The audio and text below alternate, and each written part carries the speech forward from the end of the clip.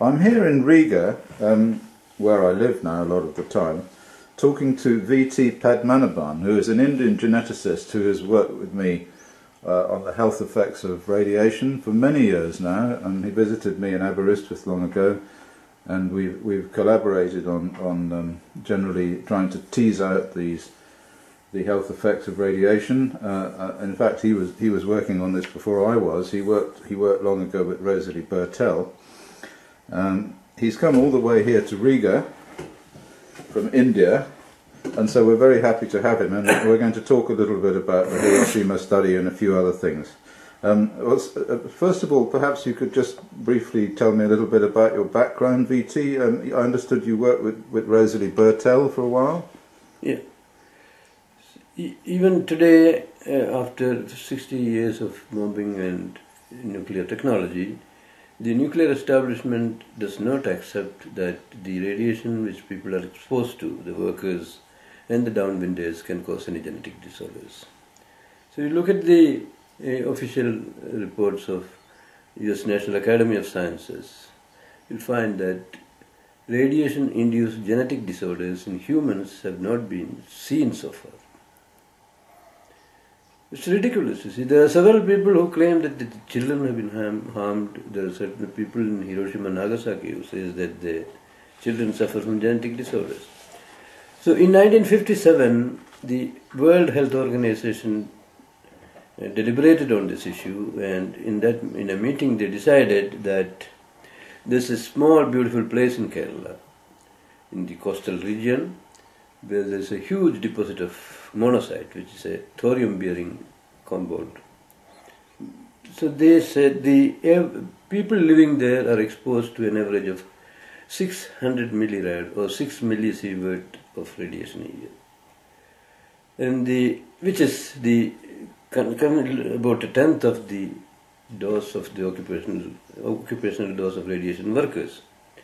The logic of WHO experts was that if to see if at this dose level that is 5 6 millisievert a year that is 33 180 millisievert throughout the reproductive span of life. Does it cause any genetic effect in the children? So the indian uh, atomic energy department was supposed to have undertaken this study which they did not. They set up a lab but they did not do any epidemiological study or publish any paper on it. Now we entered this area and saw that it's a place which has been untouched by other chemical pollutants or any other these things. And there, there's comparable population living in north and south of this area. So we designed a study in which 38,000 people living in these beaches with high radiation was considered as the exposed population. And another 32,000 people who were living in, in northern villages of this area where the background radiation was quite normal, uh, were considered as the control.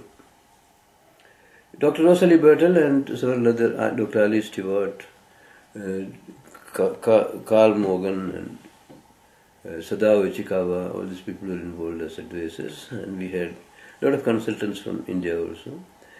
A total of about 15 medical doctors participated in the diagnosis, and we had done this study very systematically that all complex cases, diseases were shown to specialists, different specialists in respective fields. We did chromosome and genetic studies in, in, the, in the All India Institute of Medical Science Laboratory in Delhi. So it was a more or less complete study, and was, uh, the finding was that the incidence of prevalence of chromosomal disorders, Down syndrome, is three and a half times higher among the exposed population. And there was also a statistically significant increase in single gene disorders.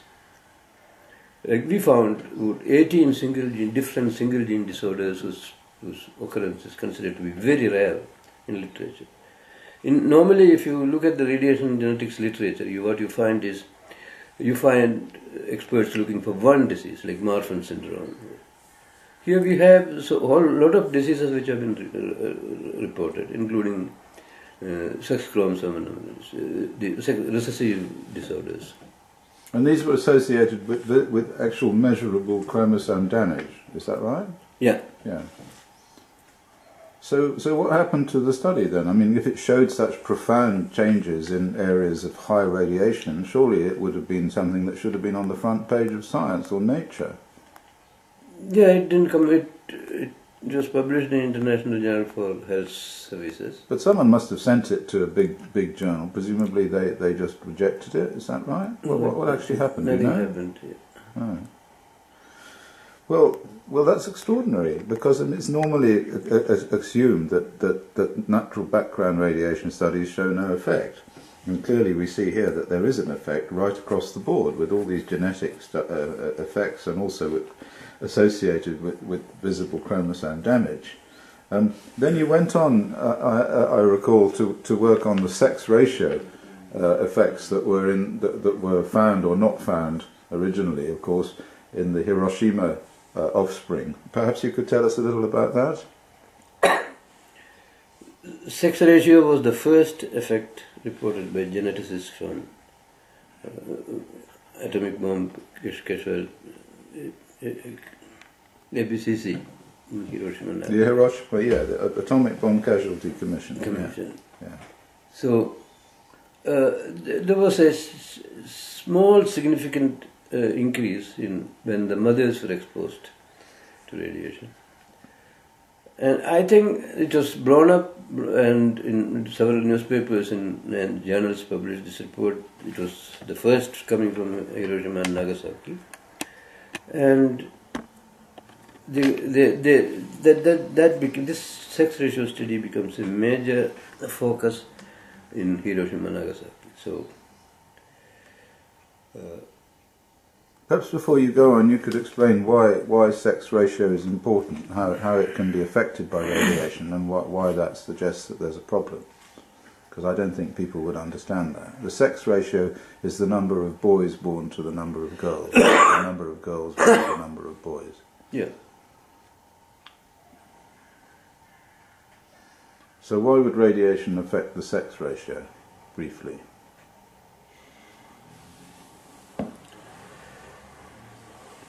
See, we humans have 22 pairs of autosomes, known as chromosomes number 1 to 22, and one chromosome which is known as sex chromosome, it's X and Y.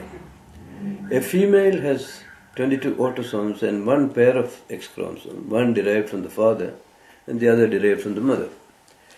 Uh, on the contrary, a male has 22 pairs of autosomes and one X chromosome derived from the mother and Y chromosome which came from the father. Now, if the if the somebody is exposed to ionizing radiation or any other mutagen, the, if if sperm cells are exposed to this any mutagenic substances, we expect that the uh, the damage to the chromosomes will be more or less uh, equal depending upon the size of the chromosomes. Now, if autosomes of mother or fathers are damaged, then its effect would be same. But if you if X chromosome of the mother is damaged, uh, then the impact would be different in boys as well as the girls. Since the girls have two X chromosomes, if one of her X chromosome derived from the father or mother is damaged, the fetus survives and the girl also survives. At the same time, if the X chromosome of a boy is damaged, there is no uh, uh, second chromosome There's no spare. to, to rely on. This is why you find you don't find sex-linked recessive disorders in girls like hemophilia. Hmm. You don't find them in girls. Only boys get it. Right. So the logic is that if the fathers were exposed and their uh, their X chromosome received a, an insult, uh, then there would be no uh, girls would not be born to them. At the same time, the no if if the father's uh, chromosome received an X uh, recessive uh, lethal recessive insult, there won't be effect on the girl child because the, the, the girl child of the fetus which is formed with that chromosome has got another uh, X chromosome derived from the mother. At the same time, it was this mother's X chromosome which was damaged, had a recessive lethal mutation, recessive lethal mutation. Then the boy born out of it will not survive. He will not come out to be aborted immediately after formation. Hmm.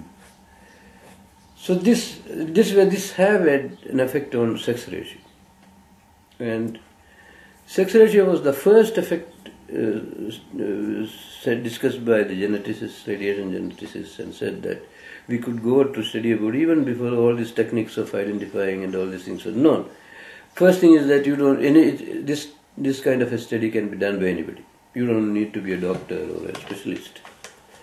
So you what all, all what you need is a large number of birth data and classify them boys, girls, and then analyze it. In the same way, in 1948, Neel and Schull also went there, and they said we'll look into this effect. And the first paper showed that there's a small effect when the mother is exposed.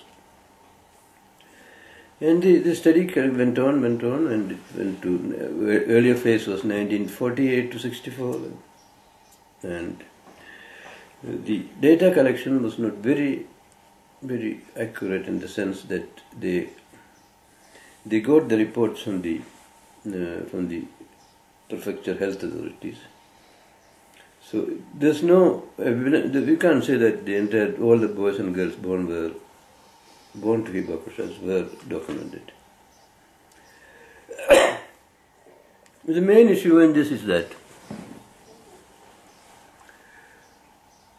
uh, there were uh, uh, effects of exposure, or there were differences in the sex ratio of children born to various combinations, uh, which were hidden from the public. In the first paper they said there was, and then later on it was, the effect got diluted, diluted, and now the mainstream thinking is that uh, the uh, ABC studies, studies by ABCC and Radiation Effect Research Foundation did not reveal any genetic effect at all. Right. But it is not true. How they did they hid this was a crude method. You see, it is not done by scientists. It's done by you know primary school students. That where they found that there was an effect really, they in, uh, added boys in, in, in cohorts where there was a def- deficiency of boys. They added boys and without without explaining from where these boys came from.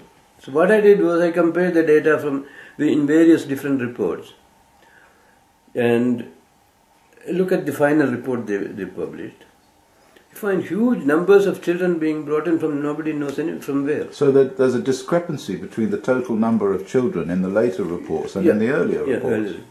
So they fiddled the data, we could Yeah. say. We could say that was criminal, in fact. And it's published in a journal, uh, Science. you see. Right, right. So this is the same sort of cover-up that I found in the radium studies, Right, where if yeah. they don't like the results, they just change the numbers. Right. In the radium studies, they took out the, the extra leukemia cases in order to bring the relative risk down to what they thought it ought to be. But then you went a, a, ahead and did some studies uh, of, of the um, of, of the control groups, didn't you? That, that that's what I recall for the working when you were bringing that paper to Lesvos for the E ECRR. Yeah. You studied the control groups and came to some conclusions about about the exposure of the control groups and how and how that had had, had altered the, the picture with regard to sex ratio. Is that right? Yeah. See, in the control group, you had there, there are two control groups in Hiroshima and Nagasaki studies. One is the people who were living beyond uh, 10, five, five kilometers of the bomb uh, hypocenter. Uh, there were lo- uh, communities living there before the bombing, and they are supposed to have received small doses, which at that time was estimated to be less than one rad. And this was from external, was it? Yeah, this Yeah. is external. And the other control group is a group called Not In City at the time of bombing, or NIC-ATB. NIC consisted of two classes of people with two different histories of bomb exposure, bomb radiation exposure. One is those those young people who were outside the cities at the time of bombing, but were living in other cities of Japan, doing studies or working in industries. They came immediately, as early as they could get back to their homes or cities. And many of them participated in the rehabilitation work and cleaning work or searching. And there were another group which came much later, uh, and most of these mm, late late entrants were uh, Japanese who were working in colonies like China and Manchuria and all, uh, expatriates. So there's a the, the NIC in the lifespan study is about 25,000 people in both cities. Out of these 25,000 people, 5,000 people are known as Not In City at the time of bomb, early entrance. Early entrance, yes. EE, NICEE. That's 5,000 EE. E- and this EE means people is defined as those individuals who entered the cities within 30 days of the bombing. Right. Now 5,000 N- NICEE E and 20,000 NIC late entrance. And when would the late entrance uh, mo- mostly Late come entrance back? could have come any time after the 30th day. Right, okay. But most of them came uh, after, say, about a year or two, Yeah, and yeah. mostly some of them even came after 1950. And they needed to put those in in order to get the numbers up. yeah, that right? was in order Yeah. to get the numbers up. They, they brought in a lot of people who were not, who came much later.